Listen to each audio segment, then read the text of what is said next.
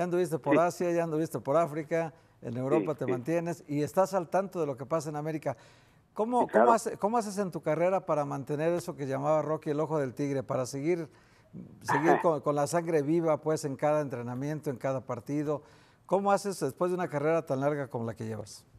Pues fíjate que buena pregunta, porque ayer la reflexionaba yo con Israel Castro, que anda por aquí, se refiere de 38 años, y ayer comíamos con ellos, puros mexicanos, y, y yo decía, yo recuerdo haberle dicho así, a los 50 ya me voy. ¿eh? Sí, me acuerdo.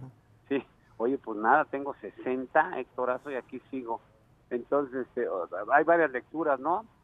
Este, los chavos tragan mucho, que me salieron tres dragones.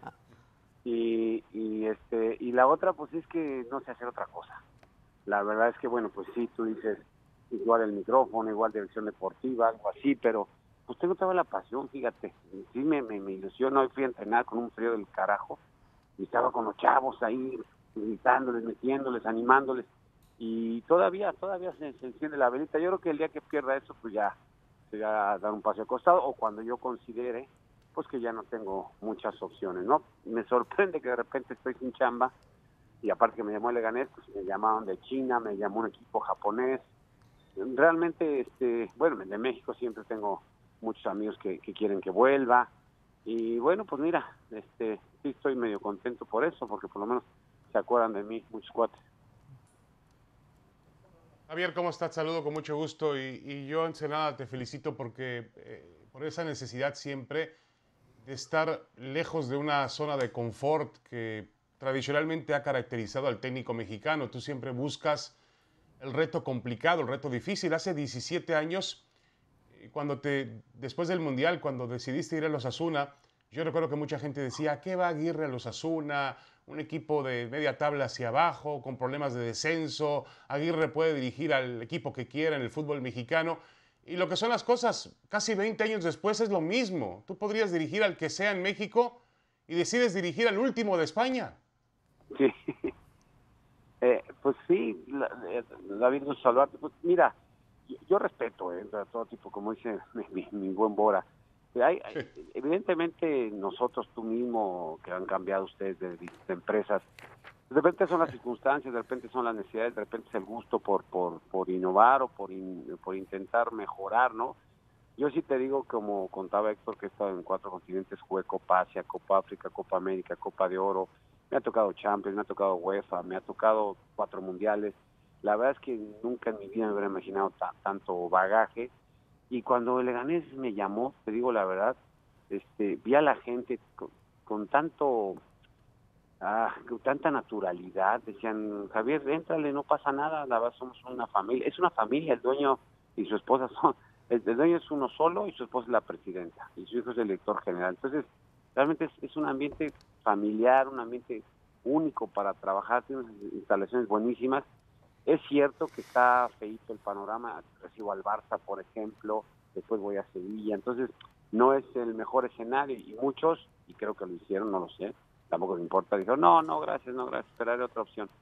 Pero pues yo, mira, estaba en mi casa, no me ha ido bien en, Egipto, y le dije así, ¿qué? ¿Le entramos? ¿No? ¿Qué hacemos? Eh, evidentemente tuve chance de volver a México, pero pero ya ya di el salto, ya ya me la jugué y, aquí estoy, estoy muy contento, David, estoy, sabes que me siento útil con 60 años, puedo ayudar todavía a la gente y, seguir aprendiendo, que es lo que me, gusta. ¿Qué pasó, Javier? ¿Cómo estás? Te saluda Ricardo Puch. Eh, no sé si se va a entender, pero un poco lo que estás diciendo tiene que ver, creo, con la comodidad hasta cierto punto que representaba Leganés al estar tú en Madrid, te queda un equipo ahí mismo, no te suponía cambiarte ni que se cambiara tu familia, más allá de que el panorama no es nada cómodo, no hay muchos eh, antecedentes que nos hagan pensar que un equipo con el número de puntos que tiene hoy el tuyo acabe la temporada salvándose. Tiene razón, Ricardo, fue un factor a, favor, por supuesto. Digo así, hoy mira, estoy a 20 minutos del entrenamiento, no hay que hacer maletas otra vez. Silvia, yo llevamos más de 30, 30 cambios de casa. Realmente este, no es fácil. Yo le agradezco de verdad a ella que le entró a mi caminito, y como dice David, y salimos de nuestra zona de confort. Ella estaba muy bien en México con sus amigas, con su trabajo, y, y ahí vamos, ahí vamos haciendo camino a lanzar. Y es cierto, un factor fue este, la, la distancia, el entreno y, y, la y hace mucho, ¿sabes qué? Tenemos a Iñaki ya a punto de terminar la universidad y con Iñaki desde que tenía 14 o 15 años no hemos podido convivir mucho, la verdad, porque él se fue a Inglaterra a jugar dos años, luego él fue a Madrid, yo me fui para Japón, luego él se fue a South Carolina, yo ando de México, o sea, no hemos podido, entonces queremos aprovechar estos tiempos para también para recuperar, no recuperar, pero sí para tener ese contacto con uno de mis tres hijos, que, que bueno, pues que, que es parte de, su formación, estar con papá y mamá y, y, volver a ser un poco familia, ¿no? Entonces, sí, todo suma, ¿no? Que mi hijo está aquí, que el club está aquí, evidentemente, y bien dice la estadística, no nos favorece nada, pero como digo a mis jugadores, a ver, este, pues, ¿qué, podemos perder? Si por ahí le, ganas al Barça o empatas, pero si pierdes, pierden todos con el Barça, ¿no? Y estamos en último y nadie dice que, que se salve con cinco puntos cuando agarramos el equipo y estamos en noviembre, pero faltan muchos puntos, Ricardo. Oye, pues soñar no cuesta nada, mano, y, y bueno, pues eh, eso le dije a mis jugadores, vamos como dice el Cholo, partido a partido, 90-90, jugando la vida y ya el tiempo dirá, a ver, a ver hasta dónde nos alcanza. Javier, hablabas de las posibilidades que siempre se te presentan de volver al fútbol mexicano. ¿Y Javier Aguirre algún día volverá? De entrenador no, de entrenador es muy difícil. Mira que me han invitado muchísimos amigos directivos, exjugadores que están ahora de presidentes o dueños de equipos. Conozco a muchos, a muchos, y cada año sí me llaman uno, dos, veinte, este año que no sé qué, tenemos buen equipo, mira, no sé qué, tal.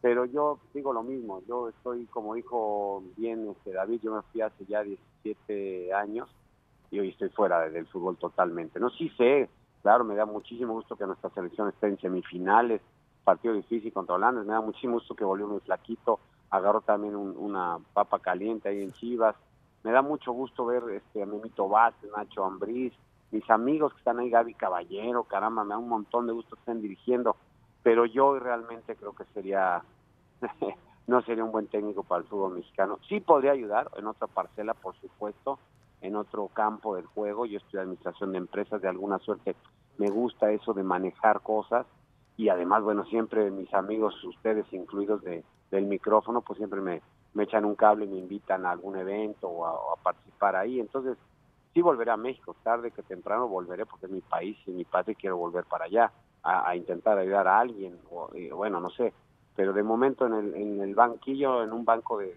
no, no me veo, no, no me veo.